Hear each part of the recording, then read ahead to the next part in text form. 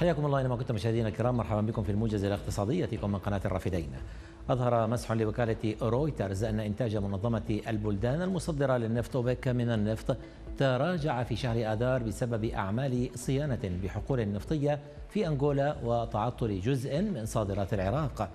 وأظهر المسح أن دول أوبك ضخت نحو 29 مليون برميل يوميا هذا الشهر من انخفاض وصل إلى 70 ألف برميل يوميا بالمقارنة مع شهر شباط فيما هبط الإنتاج بأكثر من 700 ألف برميل في اليوم عن مستويات شهر أيلول.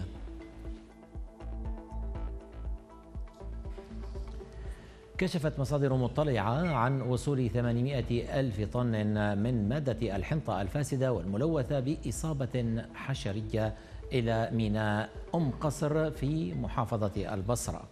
وأوضحت المصادر أن الشحنة الثالثة من هذه الحنطة غير صالحة للاستهلاك البشري مشيرة إلى أن عملية الفحص التي تمت للحنطة مخالفة لضوابط الفحص المختبري.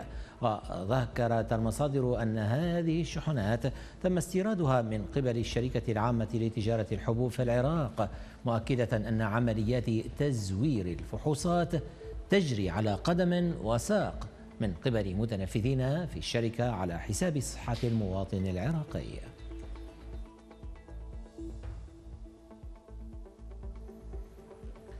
قالت وزارة الزراعة في العراق إن سلف الفلاحين مقترنة بإقرار الموازنة لتفعيل صندوق الإقراض الزراعي الميسر.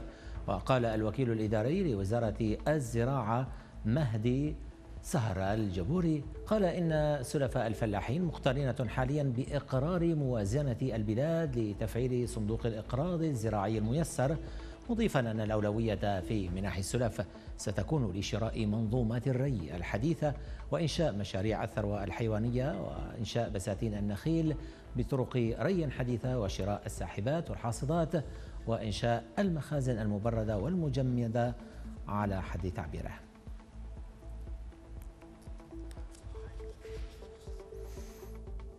صادق صندوق النقد الدولي على خطة مساعدة بقيمة 15 مليارا و600 مليون دولار وقعت مع الحكومة الأوكرانية في الواحد والعشرين من شهر آذار الأمر الذي يمهد لمنح كييف دفعة أولى بقيمة مليارين وسبعمائة مليون دولار.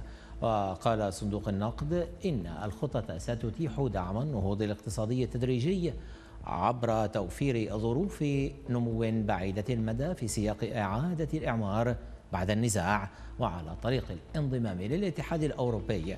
ويندرج هذا الدعم في إطار برنامج شامل للمساعدة المالية بقيمة 115 مليار دولار بينها ملياران يهدفان إلى إلغاء جزئي للدين الموجود. وفي خبرنا الأخير ارتفع مقياس التضخم الذي يتابعه البنك المركزي الأمريكي في شهر شباط بنسبة أقل قليلا مما كان متوقعا ما يشير إلى أن زيادات أسعار الفائدة التي قام بها البنك قد بدأت آثارها بتخفيف ارتفاع الأسعار. وقالت وزارة التجارة الأمريكية إن إنفاق المستهلكين الذي يمثل أكثر من ثلثي النشاط الاقتصادي الأمريكي زاد بنسبة 0.2% الشهر الماضي وجرى تعديل بيانات شهر كانون الثاني لتظهر أو لتظهر ارتفاع الإنفاق بنسبة 2% بدلا من 1.8% وكان خبراء اقتصاد قد توقعوا ارتفاع إنفاق المستهلكين بنسبة 0.3% وتباطؤ إنفاق المستهلكين أيضا بسبب تراجع زيادات الداخل